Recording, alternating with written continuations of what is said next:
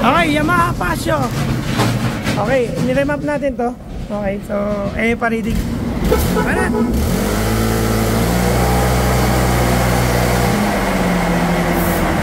Uy, okay na yan? Tama?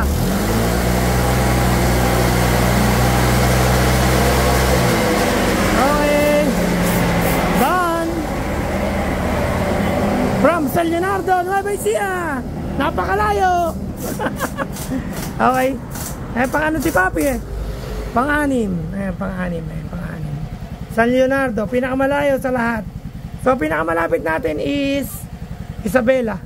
Ayan, Santiago, Isabela. Okay, sumunod, Baguio.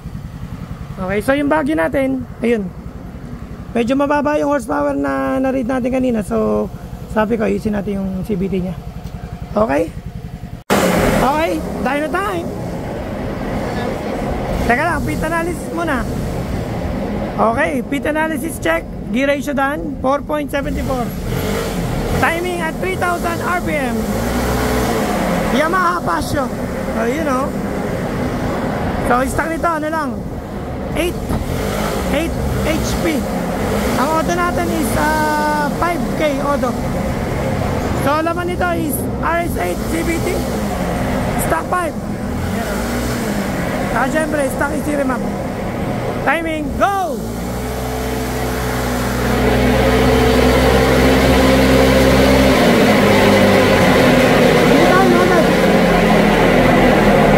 Ha? Ah, nag-walk down na siya. Ah, binitawan agad ni Baltog eh. Ay, hindi yata na ano to, papi. Na-delete yung recent. Wait lang. Ayun oh. 10.3. O, teka lang ha. Kailangan nating i-clear to, guys. Kasi anim lang ang load niyan. Clear. Red. I-red mo, bro. Okay, isa pa, guys. Nakita nyo naman, may gain ha. Timing, timing. Go!